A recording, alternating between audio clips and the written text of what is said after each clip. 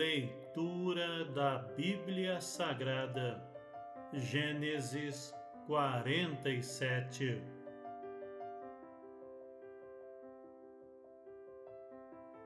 Então veio José e anunciou a Faraó e disse: Meu pai e os meus irmãos e as suas ovelhas e as suas vacas, com tudo o que tem, são vindos da terra de Canaã, e eis que estão na terra de Gozen. E tomou uma parte de seus irmãos, a saber, cinco homens, e os pôs diante de Faraó. Então disse Faraó a seus irmãos: Qual é o vosso negócio? E eles disseram a Faraó: Teus servos são pastores de ovelhas, tanto nós como nossos pais disseram mais a Faraó: Viemos para peregrinar nesta terra, porque não há pasto para as ovelhas de teus servos, porquanto a fome é grave na terra de Canaã. Agora, pois, rogamos-te que teus servos habitem na terra de Gozen. Então falou Faraó a José, dizendo: Teu pai e teus irmãos vieram a ti. A terra do Egito está diante de ti no melhor da terra, faze habitar teu pai e teus irmãos. Habitem na terra de Gozen, e se sabes que entre eles há homens valentes, os porás por maiorais do gado sobre o que eu tenho e trouxe José a Jacó, seu pai, e o apresentou a Faraó. E Jacó abençoou a Faraó. E Faraó disse a Jacó: Quantos são os dias dos anos da tua vida? E Jacó disse a Faraó os dias dos anos das minhas peregrinações são cento e trinta anos. Poucos e maus foram os dias dos anos da minha vida, e não chegaram aos dias dos anos da vida de meus pais nos dias das suas peregrinações. E Jacó abençoou a Faraó e saiu da sua presença. E José fez habitar a seu pai e seus irmãos, e deu-lhes possessão na terra do Egito no melhor da terra, na terra de Ramsés, como Faraó ordenara. E José sustentou de pão a seu pai, seus irmãos e toda a casa de seu pai, segundo as suas famílias e não havia pão em toda a terra, porque a fome era muito grave, de modo que a terra do Egito e a terra de Canaã desfaleciam por causa da fome.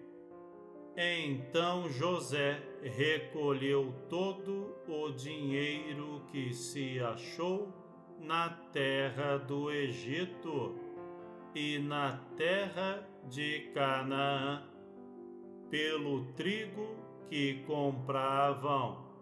E José trouxe o dinheiro à casa de Faraó.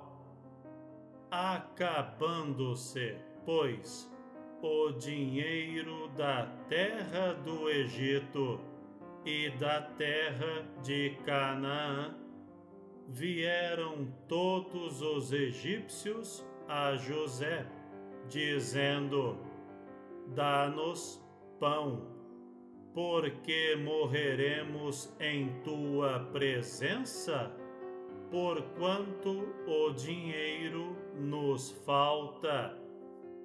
E José disse: Dai o vosso gado, e eu vô-lo darei por vosso gado, se falta o dinheiro. Então trouxeram o seu gado a José, e José deu-lhes pão em troca de cavalos, e das ovelhas, e das vacas e dos jumentos e o sustentou de pão aquele ano por todo o seu gado. E acabado aquele ano, vieram a ele no segundo ano e disseram-lhe: Não ocultaremos ao meu senhor que o dinheiro acabou. E meu senhor possui os animais, e nenhuma outra coisa nos ficou diante de meu senhor, senão o nosso corpo e a nossa terra, porque morreremos diante dos teus olhos, tanto nós como a nossa terra, compra-nos a nós e a nossa terra por pão, e nós e a nossa terra seremos servos de Faraó, e dá-nos semente, para que vivamos e não morramos, e a terra não se desole.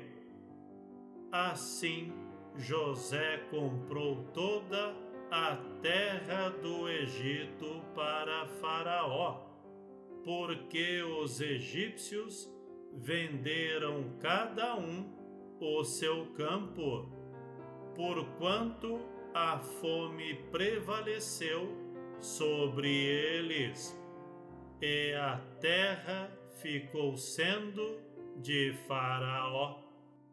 E, quanto ao povo, fê-lo passar às cidades, desde uma extremidade da terra do Egito até a outra extremidade.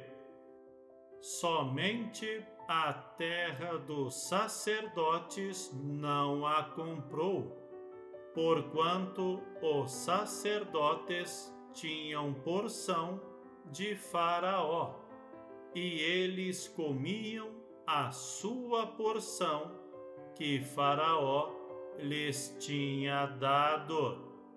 Por isso, não venderam a sua terra então disse José ao povo: Eis que hoje tenho comprado a vós e a vossa terra para Faraó. Eis aí tendes semente para vós, para que semeeis a terra. Há de ser, porém, que das colheitas dareis o quinto a Faraó, e as quatro partes serão vossas, para a semente do campo e para o vosso mantimento, e dos que estão nas vossas casas, e para que comam vossos filhos.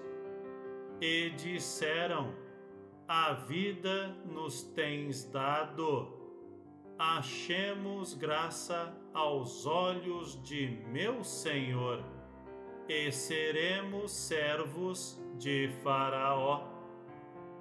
José, pois, estabeleceu isto por estatuto até ao dia de hoje sobre a terra do Egito, que Faraó tirasse o quinto. Só a terra dos sacerdotes não ficou sendo de Faraó Assim habitou Israel na terra do Egito, na terra de Gozen, e nela tomaram possessão, e frutificaram, e multiplicaram-se muito. E Jacó viveu na terra do Egito dezessete anos de sorte que os dias de Jacó, os anos da sua vida, foram cento e quarenta e sete anos. Chegando-se, pois, o tempo da morte de Israel, chamou a José, seu filho, e disse-lhe: se agora tenho achado graça em teus olhos, rogo-te que ponhas a tua mão debaixo da minha coxa e usa comigo de beneficência e verdade. Rogo-te que não me enterres no Egito, mas que eu jaza com os meus pais. Por isso me levarás do Egito e me enterrarás na sepultura deles. E ele disse: Farei conforme a tua palavra. E disse ele: Jura-me. E ele jurou-lhe e Israel inclinou-se sobre a cabeceira da cama. Estivemos todos juntos e reunidos neste dia e nesta leitura do Salmo, em nome do Pai, do Filho e do Espírito Santo. Amém.